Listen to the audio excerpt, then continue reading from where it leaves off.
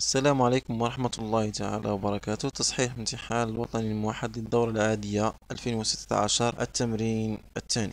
التهاب الشبكية الصباغي. مرض يصيب العينين ويؤدي إلى انحلال الشبكية وفقدان تدريجي لوظيفة الإبصار قد يصل إلى العمى. لإبراز الأصل الوراثي لهذا المرض نقترح الدراسة التالية. ترتبط عدة أشكال من هذا المرض بخلل في تركيب بروتين رودوبسين تتموضع المورثة المسؤولة عن مراقبة تركيب هذا البروتين على مستوى الزوج الصبغي رقم ثلاثة. يقدم الشكل ألف للوثيقة واحد جزء من خييط القابل للنسخ للمورثة المسؤولة عن تركيب بروتين رودوبسين عند شخصين أحدهما بمظهر خارجي عادي والآخر مصاب بالتهاب الشبكية الصباغي. ويمثل الشكل باء مستخلصا من جدول الرمز الوراثي. بالاعتماد على شكلي الوثيقة واحد حدد متتالية ARN messager وسلسلة عديد البيبتيد لبروتين رودوبسين عند كل من الشخص السليم والشخص المصاب ثم بين العلاقة مورثة بروتين بروتين بروتين صفة إذا لدينا آه، جزء من الخيط المستنسخ أي القابل للنسخ. انطلاقا من هذا الخيط سنحصل على ال ARN messager وهو سهل جدا حسب الشكل التسلسل التالي. إذا هذا هو ال ARN messager ثم انطلاقا من ال ARN messager واستعانة بالجدول الشكل باء سنحصل على متتالية الأحماض الأمينية. إذا تكون ألالين سيرين جليسين ليزين لوسين الميثيونين بعد ذلك الآخ ARN messager للشخص المصاب هو الشكل التالي. ثم منه نستنتج متتالية الأحماض الأمينية التي ستكون تختلف عن الأولى حمض الأميني الفالين. ثم بين علاقة مورثة بروتين بروتين صفة إذا نلاحظ أن هناك اختلاف على مستوى القاعدة الأزوتية C حيث استبدلت ب على مستوى الوحدة الرمزية 23 هذا التغيير أدى إلى اختلاف على مستوى البروتين بحيث استبدل الجليسين بالفالين. إذا هذا التغير أدى إلى ظهور مرض آه، التهاب الشبكية. المورثة هي مسؤولة عن تركيب البروتين والبروتين هو المسؤول عن ظهور الصفة.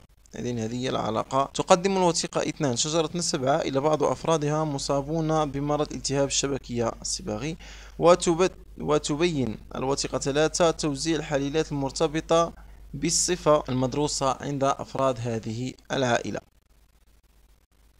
ثانيا بالاستعانة بمعطيات الوثيقة اثنان وثلاثة بين أن الحليل المسؤول الحليل الممرض سائد ومحمول على صبغ لا جنسي. بالنسبة لهذا الحليل سائد أم متنحي؟ نلاحظ هنا عند الفرد واحد اثنان عفوا. لديه حليلين حليل عادي وحليل ممرض. سوف نرى مظهره الخارجي.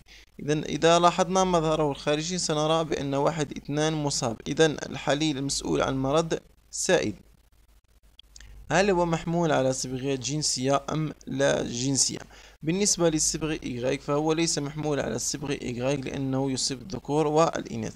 إذا لاحظنا جيدا الجدول نلاحظ بالنسبة لبعض الذكور مثلا لدينا الذكر واحد واحد لديه حليلين. ونعلم أن الذكور لديهم نمط وراثي X Y بالنسبة للصبغيات الجنسية أي لديهم صبغي جنسي X. واحد أي سيكون لديهم حليل واحد من المورثة المدروسة. ونلاحظ هنا حليلين. إذا فهو ليس محمول على إكس إذا فهو محمول على صبغيات لا جنسية. بالنسبة للسؤال الثالث حدد احتمال إنجاب طفل سليم في حالة زواج الفردين ثلاثة ثلاثة وثلاثة أربعة علل إجابتك بالاستعان بالاستعانة بشبكة التزاوج استعمل الرمزين R كبيرة و صغيرة للدلالة على حليلين المورثة المدروسة. سنستعمل في هذه الإجابة. أ كبيرة وأصغرة لدينا الفرد ثلاثة أربعة. ثلاثة أربعة فهي أنثى. مختلفة الاقتران حسب الجدول مصابة ومختلفة الاقتران. الفرد ثلاثة ثلاثة. كذلك إذا لاحظنا الجدول سنجد بأنه يحمل حليلين يعني حليلين مختلفين يعني مختلف الاقتران يحمل الحليل العادي والحليل الممر. اذا امشاج أنماط الأمشاج اذا ثلاثة أربعة سينتج نوعين من الأمشاج وكذلك ثلاثة ثلاثة سيعطي نوعين من الأمشاج. إذا أنجزنا شبكة التزاوج التي ستكون على الشكل التالي فسنجد أن 25% متشابه الاقتران بالنسبة للحليل الممرض 25% مختلف اقتران 25% مختلف اقتران و 25% ثنائي التنحي بالنسبة للحليل العادي. بالنسبة لاحتمال إنجاب طفل سليم في هذا التزاوج وهو 25 في المئة حسب شبكة التزاوج. وهنا تنتهي الإجابة على هذا التمرين.